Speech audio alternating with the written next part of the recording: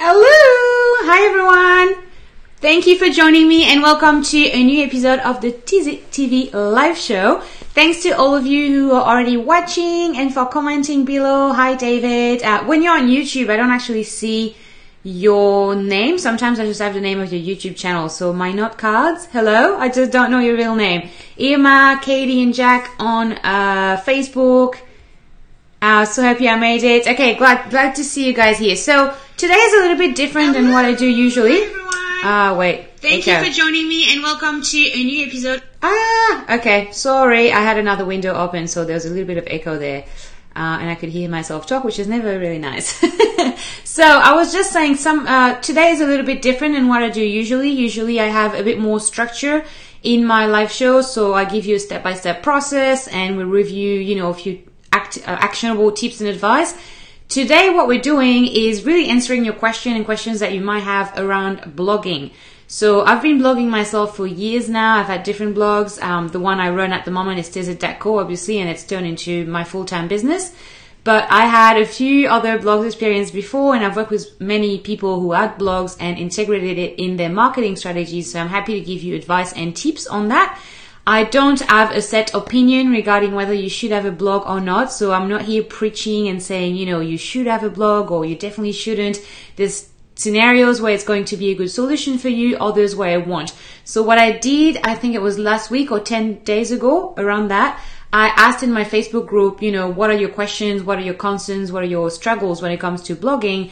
And so I had a bunch of people telling me what they were struggling with. And so today I'm going to answer those exact questions. So if you've asked questions to me a couple of weeks ago or a week ago, then it's going to get answered right now. And if you have questions that come up while we talk, then make sure you comment as well. And I'll do my best in the time frame we have to but to answer them. And maybe people in the comments can answer your questions as well and we can all share uh, information this way. So does that work for everyone? We've got larry dimitra danny. Oh danny you made it. I wasn't sure. I just saw your comment asking what it was in new york time zone. Uh, cindy margaret uh, gaslight floral. Sorry i don't have your name but hello. And thanks for being here with me guys. So i'm just going to open up those comments uh, Et le bonjour de Toulouse. Bonjour. a little bit of a message in French. Um, okay. So let's go. So first question was from Anne. And Anne says, I sell end-dyed scarves. I have no idea what I would write about other than the occasional new product. Personally, I don't like blogs in which the writer talks incessantly about herself, her memories, her thought processes. So we'll need to come up with something to say. So very good point here, Anne. Um, I think when you're trying to think about, okay, what should I talk about? And I'm going to sound like a broken record here again, but it's useful to think about your ideal customers and what they would be interested in. So if you're to write a blog and share on Pinterest, for example, what would people search for and what would people actually click on? And for artists, the process behind the work can work. But you're right, it doesn't really necessarily work for everyone or for every shop. And if it's not for you, and if you think that's not going to work for your customers, then that's fine. Then absolutely don't do that because it's not going to work.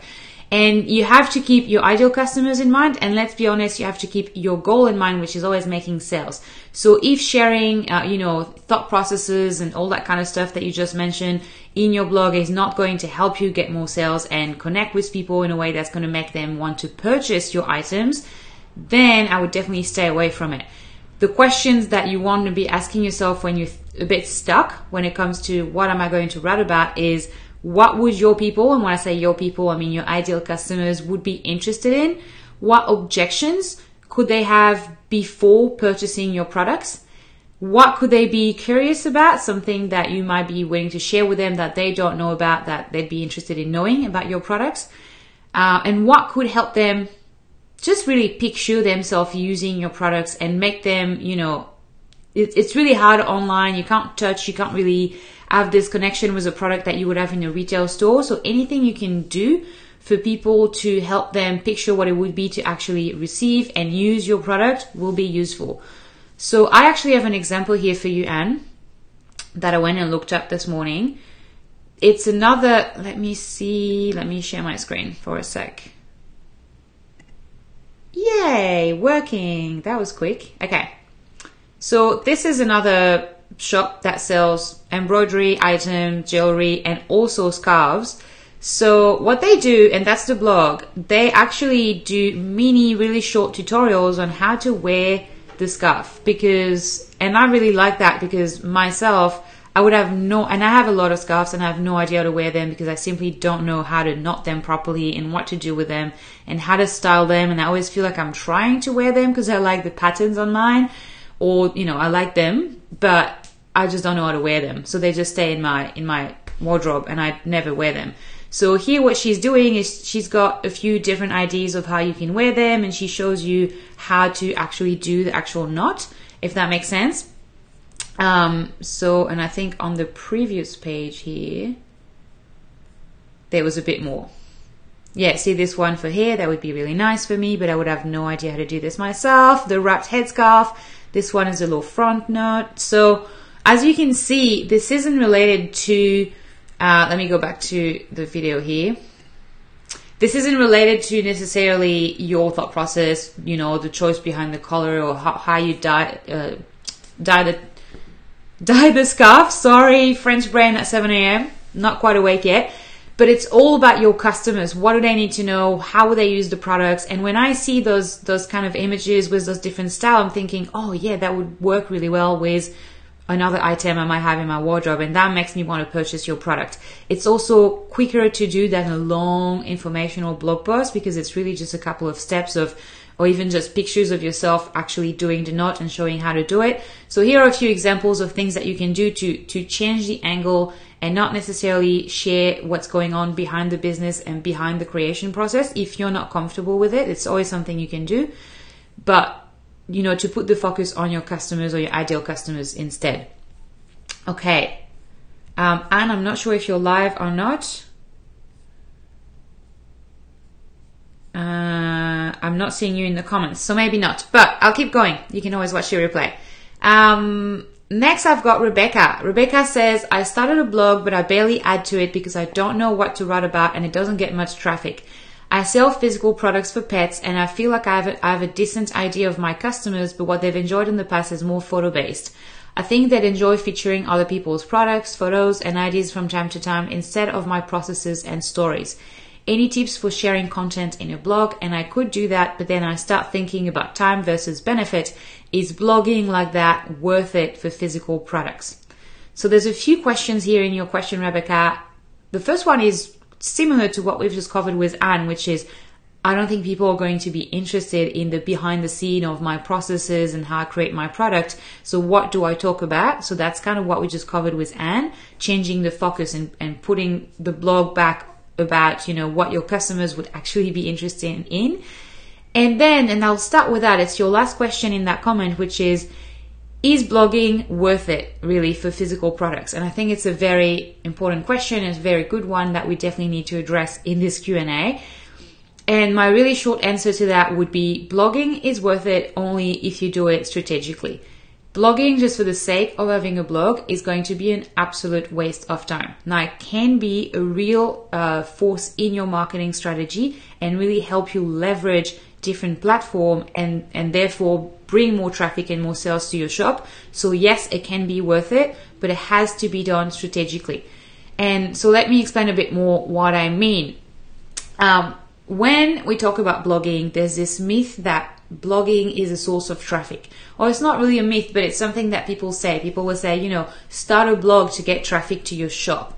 The reality is a little bit different. You can start a blog tomorrow or today and it's not going to leverage, it's not necessarily going to bring more traffic to your store instantly. No one is going to know about this beautiful blog of yours if you don't actually talk about it.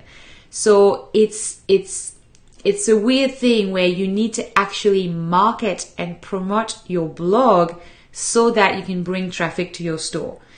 And this is where a lot of people are probably thinking, well, Deb, I'm already struggling to get traffic to my store. I'm not going to start focusing on bringing traffic to my blog because I honestly don't have time for that. But it's, it's, they work in pair, they work together. So the blog, the way you blog strategically is that you use your blog as a content source that then you can um, spread and and share on different platforms. So it's a platform to share your content and sharing your content is the base of any good traffic strategy. You're always going to need to share something out there in the world on the internet for people to find it and come back to your store.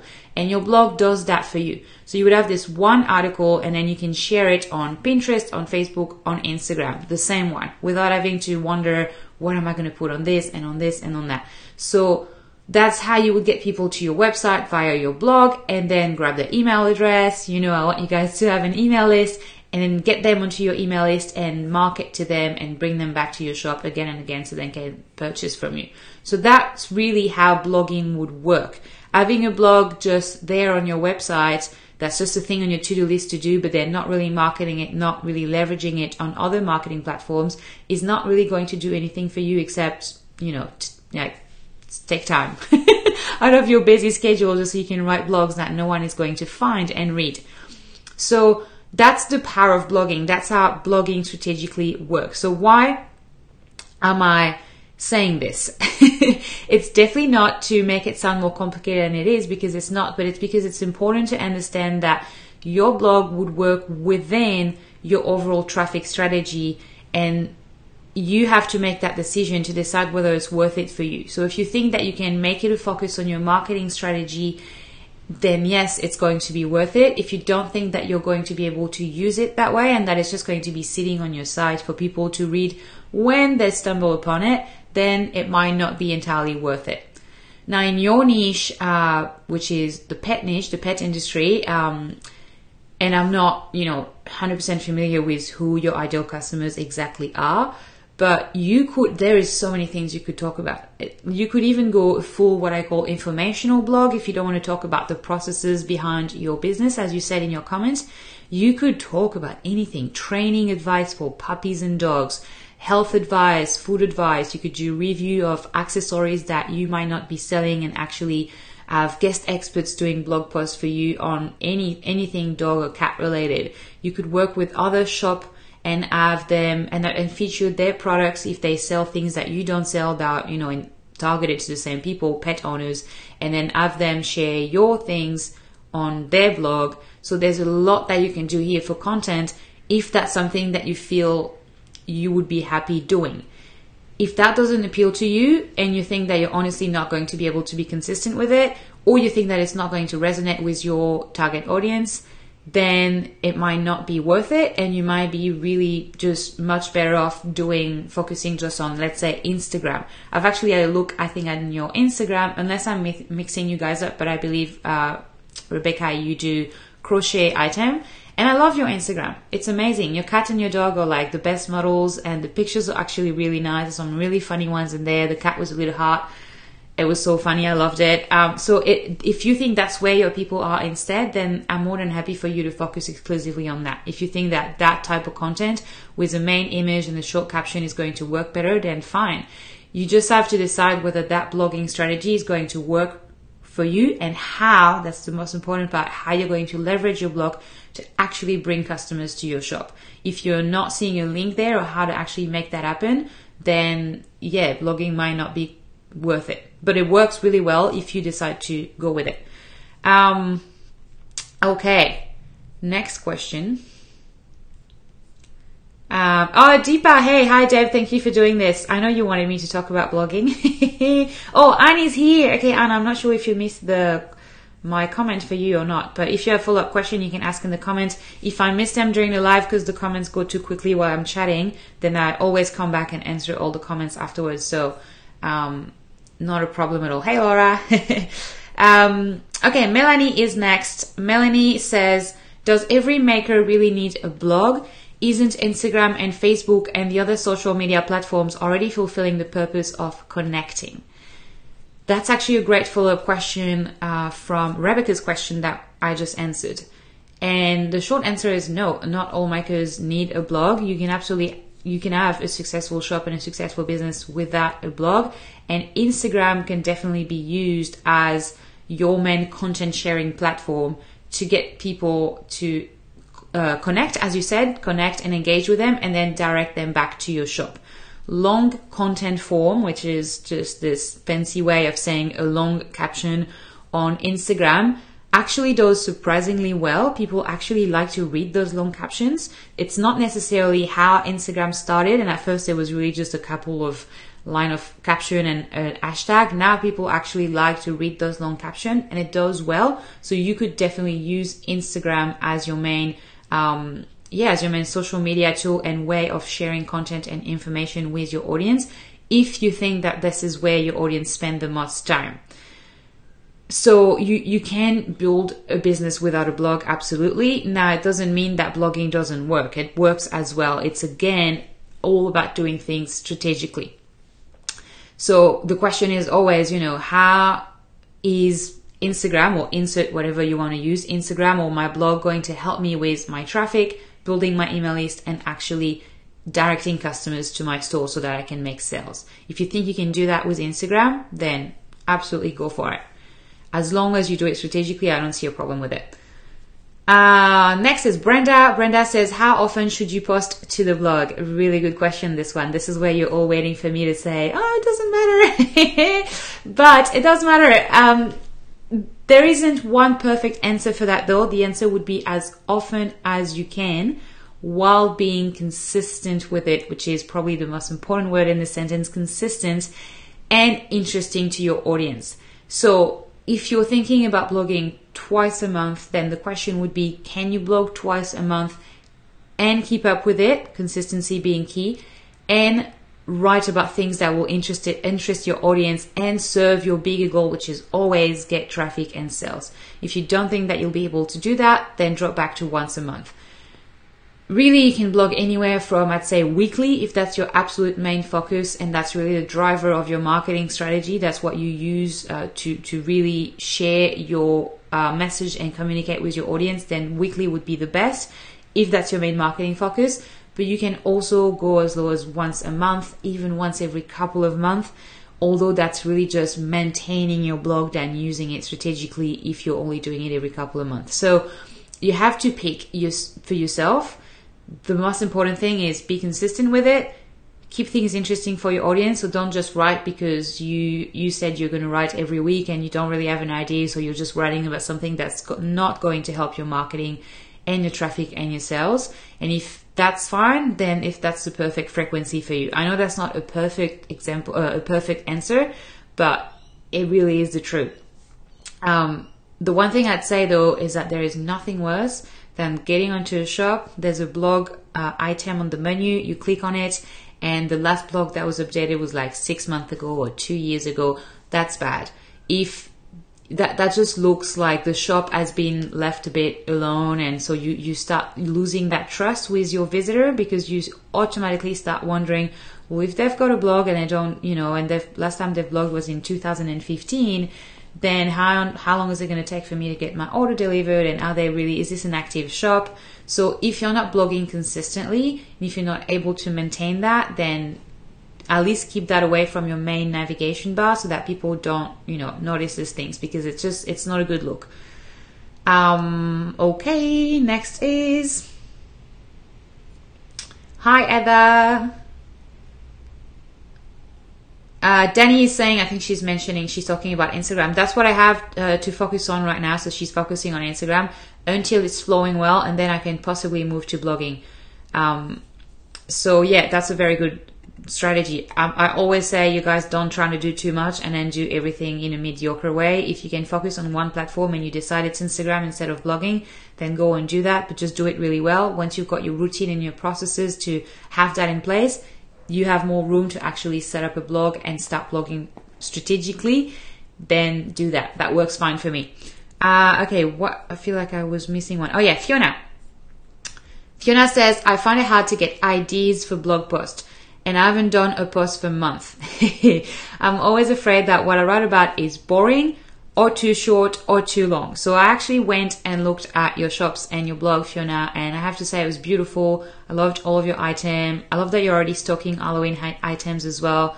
Uh, your pictures are really nicely lit. Your products are very, very cute. I love how you mix match pattern and colors. So yeah, very nice. Anyway, back to your question, which is finding it hard to get ideas for blog posts and being afraid that what you write about is boring, too short, or too long. So the thing that I will say is that when I went to visit your blog, I noticed they're mostly tutorials.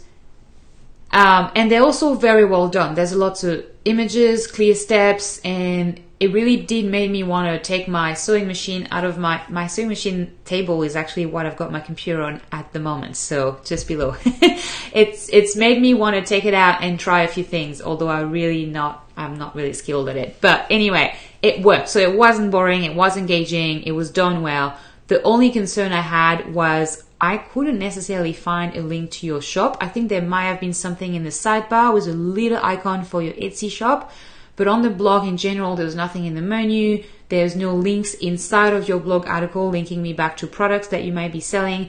And so my question to you would be: Are people interested in the uh, the people who are interested in your tutorials?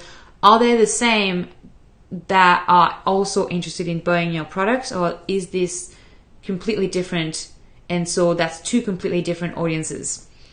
Because if the people who like to read and find tutorials to learn how to do a few things with their sewing machine are not the same people as your ideal customers, then we have a gap here that's a problem, an issue in your marketing strategy. If they are the same, then it's wonderful. But then use your blog to link back to your shop much more than what you're doing right now, and even maybe insert links of your products or categories of products and collection inside of your blog to make sure that if someone finds you, let's say on Pinterest for a tutorial you've made, and then they're directed to your blog, they know they can go back to your shop and buy your product. So that it, there's there's more of a of a flow with that, and the way the customer journey and the way your your customers find you, and then actually access your blogs and access your shops. If those two people are different, if someone that's interested in tutorial is not someone who would necessarily be interested in buying your products, which I'm feeling might be what's happening because if I know how to make all of the things that you sell myself, then I'm probably not going to buy it.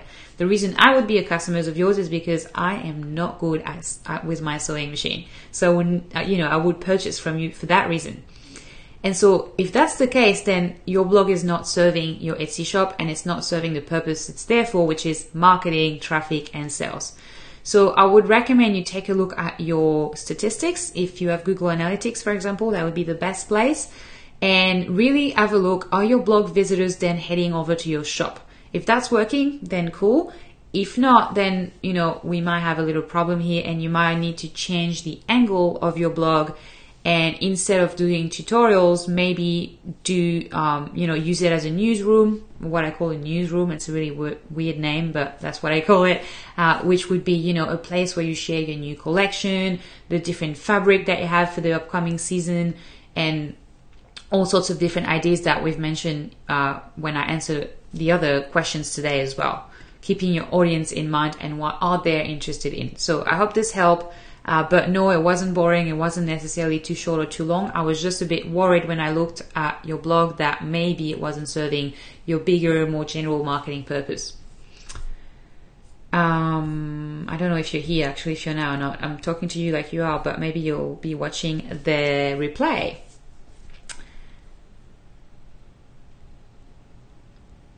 Uh, okay, Irma says I had to step away. Oh, I have to step away. Uh, but I have a question. What if you have two different? Oh no, the comment just gone. Wait. What if you have two different ideal customers? Should every other blog address one group and then the other month the other group? Um, yeah, that's something you can do. As long as there's not completely different, that there should actually be two different shop or two different blog, you can absolutely do that. So you could have categories on your blog, and you could have uh, a blog in with each category one time or two, or it's okay if it's not a perfect 50-50 as well. I mean, as long as you as you keep it overall um, a fair split, it's fine if you were for a couple of weeks to talk more about something because it's more relevant at that time of the year for that particular ideal customer, and then focus on on the other stuff later on in the year. So that's fine as long as it's clearly, uh, you know, you can tag your blog post. I don't know what you use to blog, but if you're on WordPress, you can have categories, you can tag them. Just make sure that you split that and make sure that it's still overall the same group of people and that it's not completely different because if not it's it's going to look a little bit funny um, Danny says that's why I was wondering about blogging or even behind the scenes showing how I make my items and tutorials. So yeah, it's it's something you can absolutely do, and I think someone asked about how to make money for a blog as well. So it's something we can talk about later. But keep in mind if people doing the tutorials are not the same people as the one who would be interested in buying your products, then that blog doesn't serve you as a handmade shop owners in terms of making more sales. So it's really, you know, making sure that this is going to serve you. If not, you're just having a tutorial blog and that's a completely different business model than your handmade shop. Uh, uh, okay, Deepa is saying I'm having trouble to get people to my blog on my site. Just just now learning about SEOs. I was told to send a newsletter with a teaser and link to the blog on your website. The question is, how do you know how much to put to tease people into clicking the link to get over to the website? This feels hard to do. Okay, so what I like to do with that is, uh, that's what I do in my newsletter, is clearly stating what they're going to get from the article. So what are you going to talk about and why should they click? And, you know, don't say things like, you should click because, but just naturally explain what are they going to what's the win for them if they read this blog post. So if they read this blog post are they going to learn abc or are they going to know how to do you know xyz without necessarily getting into the details of the article itself just explain how it's going to serve them. If they want to learn more the button is there or the link is there. So don't overthink it really. Um, it's important with a newsletter that you just sometimes admit that scent is better than perfect and you'll notice as you get better as writing those little teaser what worked and what didn't work in your stats in your email service provider. So you'll be able to adjust that. But yeah the idea is really just to tell them what's in the blog how is it going to serve them? Just keep in mind people want to know what's in it for me all the time. That's why you always have to you know to ask yourself when you write any type of copy what's in it for me is a question they want you to answer so what's in it for them what's good about this blog explain that in the best way you can. And then if they are interested in that, then they'll click on the link. Hello from Portugal. Hello. Um, Heather is saying you can also create long form content on your site that you don't label as a blog but under a different heading if you can't be regular enough with a blog. I'm not experienced enough to know a Google response to that strategy though. Heather, that's a great tip. I love that. Um, I absolutely love that. That's why some people call it news or newsroom, or it could just be a, a lookbook if what you're doing is mostly posting pictures and not really a blog. So a blog can really be redefined as well to really fit whatever you want to do with it.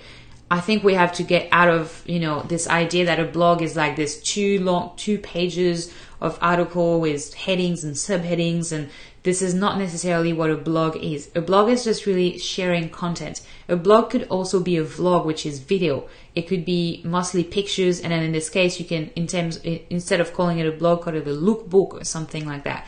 So yeah, you don't have to label it a, a blog. And when you do that, that's true. People expect less in terms of how consistent you you are with it. Whereas when you click on blog and it hasn't been updated in two years, then it does look a little bit funny. So great tip here, Heather. Thank you for sharing that with us. Uh, okay, where was I? Next is just uh, I'm just scrolling past those. Okay, Sandra asked. Um, I tried doing a blog years ago. My main problems were one, finding things to write about, two, getting found by other people, three, making money on my blog, Four, finding the right thing people are looking for craft, books, materials, wholesalers, my work, other people work, techniques, videos, etc. And what would all of this do to my ability to sell my own stuff? And number five, how do we find the time to do a blog while making our own stuff, marketing it, selling it, accounting and bookkeeping, and so many hassle and childcare tasks? what is the return of, on investment of doing a blog? If you can answer that, then I'm all in.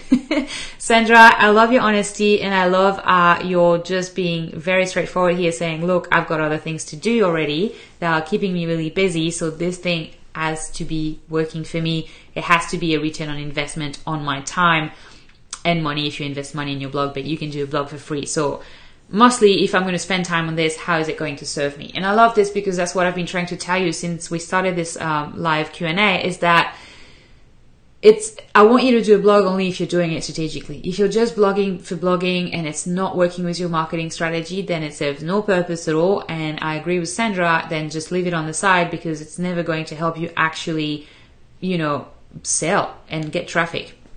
So what I'll do is uh, there's a lot of things in this comment, so I'll just go one by one. So number one was uh, finding things to write about. So, and actually, that's kind of like what you said in later as well, finding um, the right thing people are looking for. So, I'll answer those those two questions together. Uh, number two was getting found by others. So that's really the, the traffic strategy for your blog, right? I'm assuming you're saying that if I have a blog, then how do people actually find it? And this is what I was saying, I think, in answer to Rebecca's question just a bit before, which is your blog in itself, and you're right with that, is not going to suddenly magically generate traffic to your shop. What it do is, is give you this content platform that you can then use to share across all uh, other social media platform. So that's definitely one of the benefits because I know it sounds like it's more work. Like, oh well, now I also have to bring traffic to my blog on top of my shop, but really it works in synergy. So it gets tiresome to try to find stuff to share on Facebook and Instagram and Pinterest as well. Like at some stage, you, you, I'm sure you guys have come across that problem when you're like, what am I going to talk about this time? What's going to be my caption? like, what I'm running out of ideas. When you have a blog, you can use that one blog, that one piece of content, and then pretty much repurpose it on all these different um, channels, social media channels. So that's how the traffic strategy actually works. Your blog isn't the thing that brings you traffic, it's what's helping you generate traffic across all the social media platform back to your store. Uh, number three was making money on my blog. Good question. Uh, okay. That's going to tie back to what I was saying about writing tutorials. There's two type of business models I want to talk about here. There's one where your blog is actually making money directly, like that's the money maker. And the way you do that is by selling ads on your blog or having affiliate articles and affiliate links so you generating generating sales for someone else and you're taking commission from that. So that work well for things like tutorials. You can have a tutorials and you're referring to the, you know, tools and the materials and supplies that you're using for this specific tutorial and then you're making money from the sales of those materials and supplies.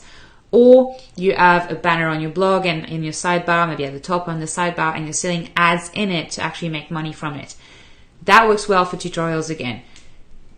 The reality of that is that you need a lot of traffic to your blog to actually make a decent living from doing that. So that's the first type of business model for, for a blog, which is actually generating money directly from it. The second way to make money from your blog, and that's the one I'm mostly interest, interested in talking to you about, is your blog isn't directly making money. So, you know, you're not cashing in a hundred bucks every time you write a blog post, sadly, but it supports your handmade shop. So it doesn't make money per se, but it gets people to your site. It gets them to sign up to your email list uh, once they're on your blog. And that's how you bring them back and get them to buy and really build that connection and that relationship and send them offers and promotion and make sure that they eventually purchase from you. So that's how your blog would actually help you make money. It wouldn't actually be making money directly unless you've got a gigantic amount of traffic and then you can sell through affiliate links and, you know, advertisement space on your blog. I hope that makes sense. Uh, was there another question? Yes, number four. Finding the right thing people are looking for. Yes, which was kind of like your first question as well, which is finding things to write about. So I'm not sure what you actually sell, uh, so it's a little bit hard to brainstorm just like that without knowing. But the general idea is that you can do what I call like um, newsroom or news. So you you could tease people about new collection or new products coming up. So that means that without necessarily being you know getting into too many details, just sharing, you know, the next fabrics that are coming up or the next colors that are coming up in the next collection.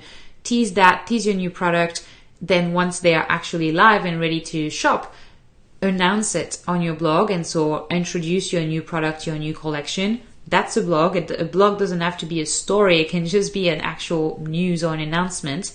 You can also do behind the scenes on processes. Um, so, for example, uh, Anne with your scarves, uh, you could. I, I, know I would love to understand how you actually dye those beautiful, like take those beautiful colors and turn that into, you know, a beautiful dye. I know it's something that I would be really interested in knowing, and that would make me look at your product thinking this is so special and and actually increase the perceived value of your product because I would be like, look how unique and special this scarf is. So the behind the behind the scenes and processes can be interested for interesting for that. Uh, Danny, that would work for you as well with your uh, flowers, how you actually make them, and how you know intricate and precise and time consuming that work would be. That makes your product really special, and that's you know informing your your ideal customers of the work you're doing and the value in your product. And it's also, if they're curious about it, it's there for them to see. So it's not a tutorial, but it's explaining how you make your product. Um, which is good because it means you don't have to get in as many details as if you were doing a tutorials, but you're still sharing the behind the scenes. Another group of example would be um, how to. So that's what we saw. Uh, what we I show you about the actual knot for the scarf example. So how to use it, how you wear, how to wear it, how to style it. Uh, so that's really good. That works really well for clothing or jewelry type of shops. How to even uh, look after whatever they just purchased. So if they if you sell leather items, you can have a blog on how to like keep it clean or keep it, you know, how to uh, or jewelry even how to clean your silver pieces, things like that. Uh, and then lastly, the fourth block would be informational. So that would be, for example, again, Rebecca, when we were talking about the pet niche and the pet industry, you know, um, advice on how to train your puppy and things like that, which isn't necessarily related directly to your product, but would interest people who are looking to purchase things for their puppy because they just had a puppy. So they want to know how to train it and have good tips on health and food and accessories reviews and also at the same time shop your beautiful crochet items. So here are a few examples, new collection, new products and teasers, behind the scenes on processes, uh, how to, so how to wear, how to style, how to clean, all of that stuff, and more informational, which is more of a what we think of when we usually think of a blog. So these are four groups of ideas for you, Sandra, and for anyone else listening. Um, Uh, EMA said thanks for the reply. Pam says, Pamela says, I blog with my teaching five days a week and doesn't need to be so detailed. I'm not sure, Pamela, what you are referring to. If I missed something before, uh, just explain a bit more in the comment and I'll, I'll try to come back to it. And if I don't have time for it, I'll make sure to always reply when I go offline. Um, Danny says, I'm, I'm, getting really bad service. I keep losing you. I'll catch the replay. That's okay, Danny. You go. Uh, it's your daughter's cheer practice. Okay, you go and do what you have to do. Uh, okay, so next question is Heidi. Heidi says, I wouldn't have any idea what to talk about in a blog. It's been suggested I do one for my business as a way for people to get to know me. Uh, but if it's not jewelry related, would it make re- would it really make sense to do one? Well, I think that's uh, what I just answered in the in the question just before. Actually, with those four groups of things you can blog about. It doesn't have to be always about jewelry. It could be actual lookbook. It could be about trends in the season and how to, you know, the best style for the summer or anything like that. That's not necessarily jewelry, but I would tie in with it so that you can always use that as a platform to say, by the way, my products would work perfectly fine with this really cute summer outfit. For example, it could be anything as long as your ideal customer find it interesting and it will help you make sales at the same time. Uh, a good blog that you might want to go and check out uh, if you do jewelry is the one from Megan Auman. Um, she does statement pieces and she always gives first behind the scenes in what's going on. So a new collection release, all of that will, appear, will appear on her blog. So that's something you can do. But also she will wear uh, jewelry and say, you know, this worked really nice with, you know, what was the last one I, I saw? Um, something about earrings being big and really nice for summer or you know she just helps you understand how you could actually wear those pieces that she sells. So it's really in the or to use categories or, or the news so new collection new product and teasers categories. But there's definitely a way you can blog when you sell jewelry. Uh, Heather is saying I had a business blog several years ago. It was for a service not for my handmade business I created it from scratch, including adding all the widgets and doing my own SEO. It was a ton of work and ended up being a headache when it got hacked. Oh yeah, that's not good. Um, right now, my handmade business is my side business, and I already struggle to find time to create and post on social media. I haven't started selling online yet, and I cannot imagine trying to find time to start and write a blog.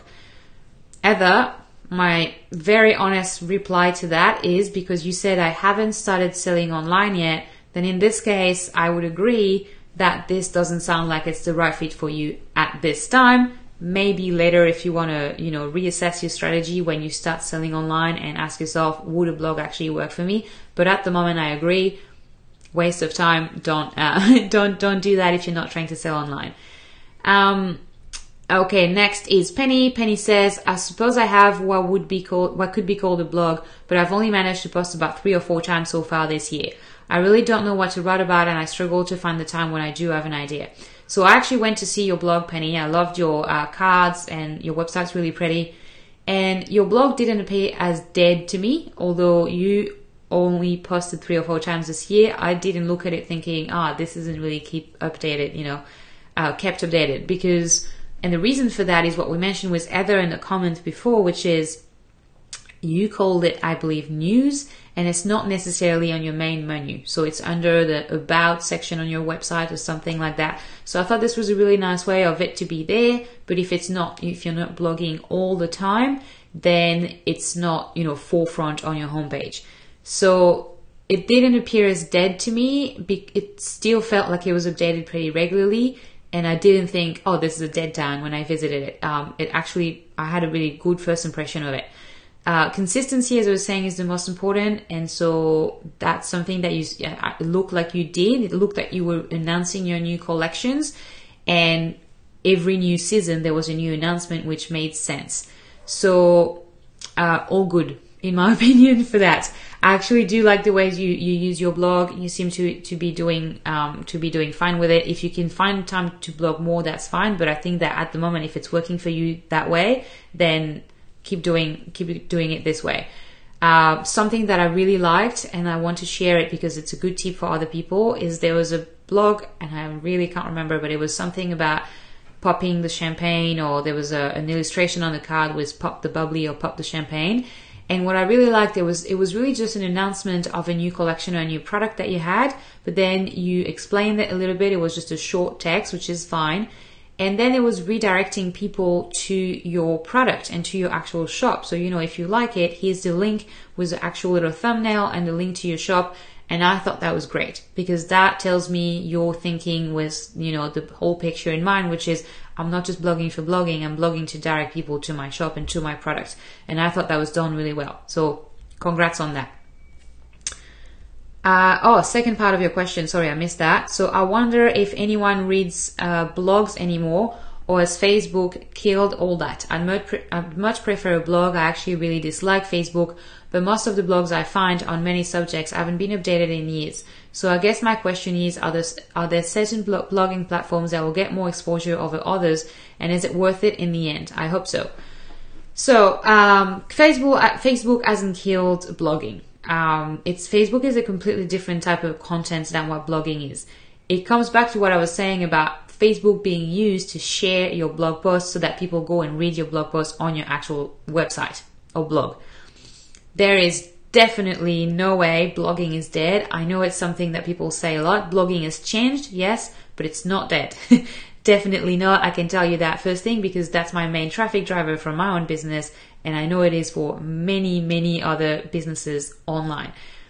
E-commerce, retailers, and service businesses, all of that. It works, blogging works for all of them. So Facebook hasn't killed that. It is, it is simply brought, it's, it's just a new way people access information. So most likely people will go and read a blog either because they are subscribed to the newsletter and got a link to it they it on Pinterest or it's been shared on Instagram and Facebook with a link to go and read it. And so they're going to go and do that. So it's just a way of actually promoting your, your articles and your blogs. Now, when you say, is there, are there certain blogging platforms that will get more exposure over others? No. So if, or I hope I'm understanding your question well, but if you're thinking about, you know, if I blog on WordPress, is it different than if I blog on uh, Blogspot or whatever other platform there is? No. the the way you're going to get exposure is by marketing and directing traffic to your blog, and so that is going to come from Facebook, Pinterest, Instagram, things like that. And where you're actually hosting and blogging and writing your articles is not going to have an influence on that. It's all about marketing your blog and your shop. Uh, Wendy, next question. I started a blogspot.com a few years ago when I was a teacher purely for fun. What I was blogging about, my flannel balls that I use in my classroom, ended up turning into my business, but my audience has changed. Well, that's pretty good that it's turned into a business for you. I felt super comfortable blogging when I was talking to other teachers, but now I feel I need to market more towards parents. And since I'm not one of those, I have no idea what to write about. I want to be an expert on my topic if I'm going to write about it, but I'm not an expert from the parent angle. Okay, that makes sense. I understand that you might not feel really comfortable talking about something you are not an expert at. that's definitely something I wouldn't be comfortable doing either, and that's just normal. So, first, congrats on uh, your blog turning into a business. Congrats on paying attention to the audience change as well. It might sound really obvious to you, but we've talked about that a lot today about wondering who is your audience, knowing what they want to hear, what they want to read, and you're obviously paying attention to it because you've noticed that change. So well done. That is not actually uh, something that many people do or do correctly. Now, regarding what to blog about in your case, if I was you, I'm trying to put myself into your shoes and I wanted to keep the blog up, but I didn't really know you know, enough about parenting, which is, by the way, totally my situation because I don't have kids myself.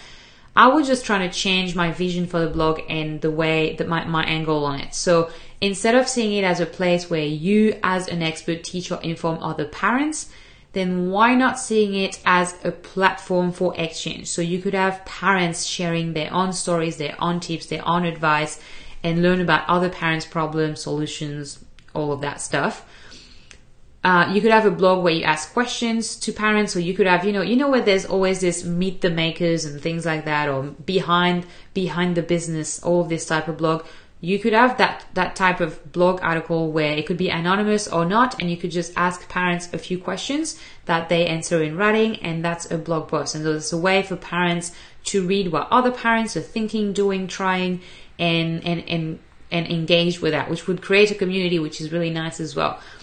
Uh, you could also, and that's actually a, a really nice way to save time as well, is inviting other people to blog on your blog.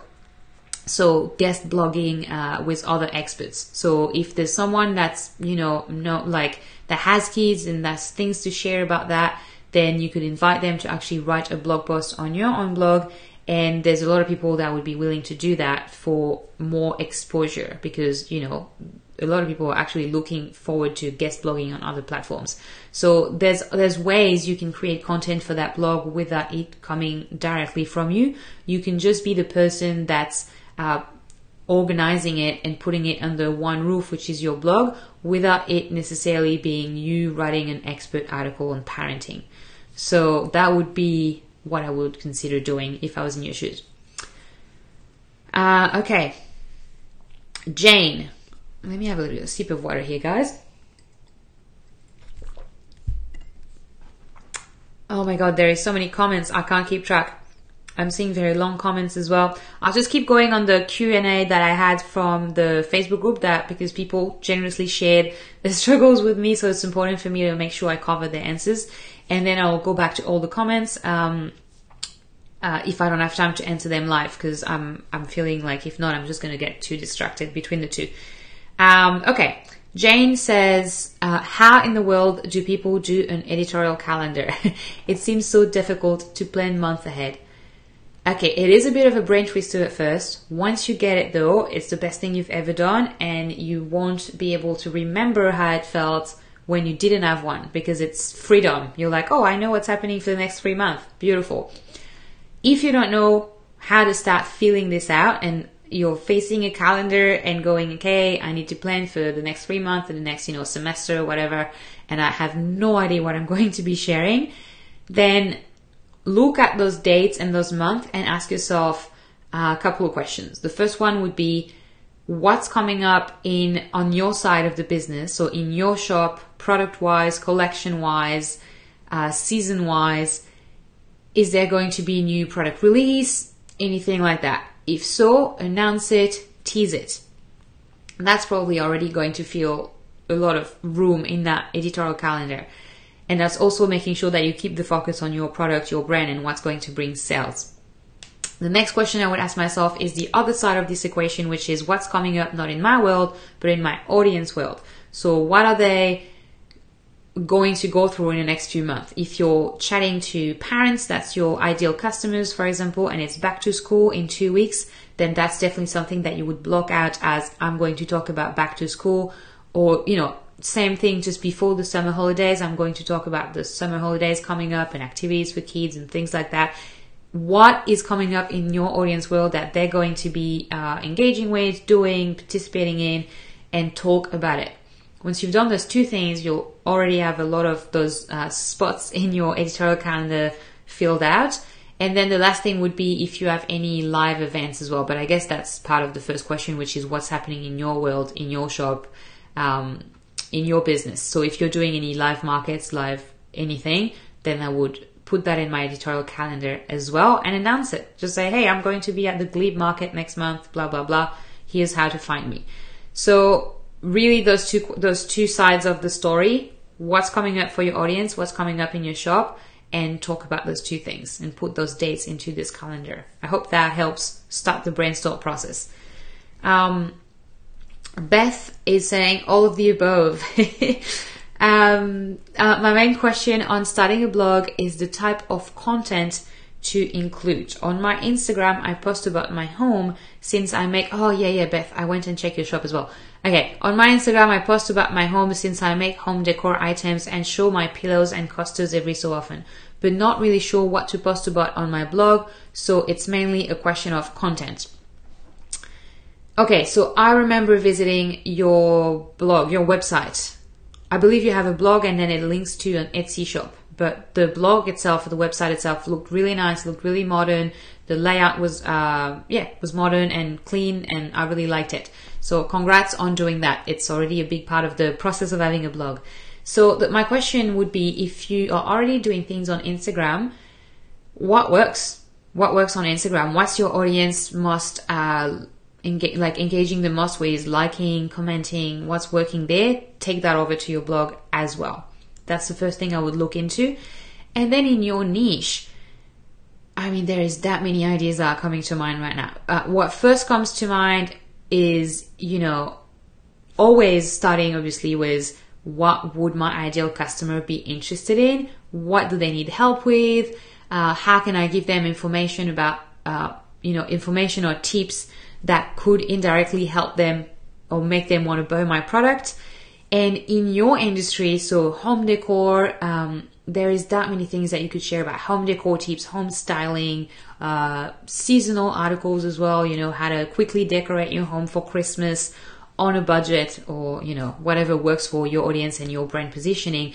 But you could insert your items and your products in those recommendations. You know, like how to achieve the perfect farm, farm farmhouse uh, kitchen style um, with only a few items or tricks or whatever, and then you could list them and list to the shops uh, the items on your shop that would work really well for this type of um, home decor, for example. So there's definitely, and that's just an that's there's really potential there because that's something, for example, on Pinterest that people look for all the time. Home decor, home styling, it's really something that's big over on Pinterest. So having a blog to share that content and, and direct them back to your store uh, would really work well for you. And there's a lot of how to and advice type blog that you can do in that niche. Um, yeah, so definitely don't be afraid of doing that. Uh, okay, I think this is the end of the questions that I had from my Facebook group. Just scrolling and yeah, I think I've done them all. Oh, have I done Brenda? Yeah. Okay. So yes, this was uh, quite a bit, you guys. We oh my god, it's been an hour already. Um, oh, Leslie says, could you repeat the name of the jewelry blog? It's Megan Auman. Auman is A U M A N. If you type it, you'll find her. She's a very successful jewelry designer.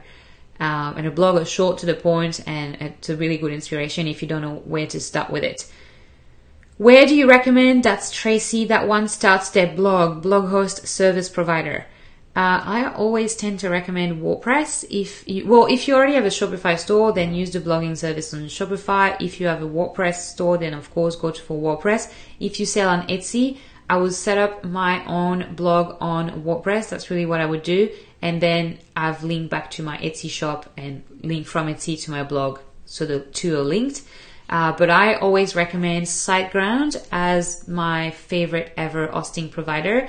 Firstly, uh, because the price is just really reasonable for the service that you get. They will back up everything. The it's safe. Like I mean, it's really it's a really great service, and also because their support team is so friendly and so responsive. You get on the live chat 24 7 in less than 30 seconds. Someone is there to help you and it's not you, you, it's someone that speaks perfect English that's not going to try to overwhelm you with techie things. And if you get stuck, need help, they usually get in there with you and try to help you do stuff. So they're great, great service. They're called SiteGround, siteground.com. And uh, that's what I would recommend you start with. And they can install WordPress on your domain and your hosting for you as well. So you don't have to do much except just picking a theme and start blogging. um, Wendy, thanks, Deb. Um, and then who do you recommend again for the blog? That's Deepa. So is that about the jewelry blog I keep on talking about? If so, I didn't recommend it as in how to blog, but just because someone was asking about a jewelry blog. And so it's a, a jewelry designer called Megan Auman, and Auman is A U M A N. If you just Google that, she'll be first answer in the in Google results. Uh, SiteGround, that's right, Deepa, that's the one I go for. I love them. I absolutely love them and I recommend them to everyone. and, uh, yeah, so you guys, I'm, uh, I can't scroll back past Wendy, uh, comment on Facebook where she said, thanks, Deb. So I'm a bit stuck with that because I know there's a lot of comments. Uh, the way it's set up on my computer, though, I can't scroll back to all the old ones, which is a little bit annoying. But I've hope I've answered a lot of questions with the questions I had in the Facebook group, and I've also uh, done my whatever I could really to answer your question as we were going live. There's a lot coming through, so I'll make sure that when I log off, uh, I first go and have breakfast, and then I'll come back and answer all of your questions and comments on uh, the Facebook page and on YouTube as well. Thank you so much for being here with me. As always, if this was helpful, make sure to like, subscribe, follow, and do all of these uh, beautiful things. If you, uh, and I'll just show you this quickly actually, where is it? If you don't have access to my free resource library as well, lots of worksheets, guides, ebooks, and things to help you start, grow, and scale your handmade business at the address that you can see on screen. I can never do this properly here. Um, if you want to subscribe to get access to it for free. And I will see you next Tuesday with a new video. And in between that, I'm always available on the Facebook group to chat. So thanks for being here with me. I will see you next week and have a beautiful evening for you guys in um, America, night in Europe, and day in Australia. Boy, boy, and see you next week. Bye.